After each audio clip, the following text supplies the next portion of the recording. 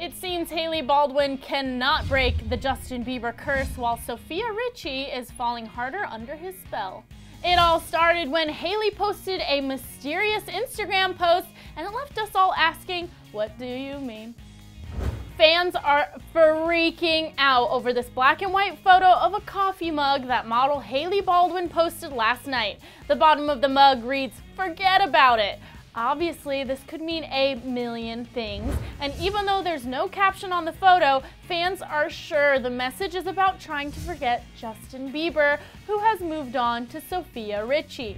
Hailey recently found herself stuck in between Justin Bieber and Selena Gomez's Instagram feud when she posted a photo saying, misplacing the blame onto someone else isn't going to get you to the next stage of life, so try not to manipulate a situation to make yourself look better. But Hailey later clarified that the post wasn't about Jelena at all, and it didn't matter because Justin still unfollowed her on the social media site. If this new mugshot wasn't enough, earlier this week, Hailey poured her broken heart out on Twitter, writing, God never promised us a life without heartache and struggles, but he did promise that with trust, he will see us through. And while Hailey has been keeping busy with New York Fashion Week, Justin's current flame, Sofia, is turning into Justin's fashion twin.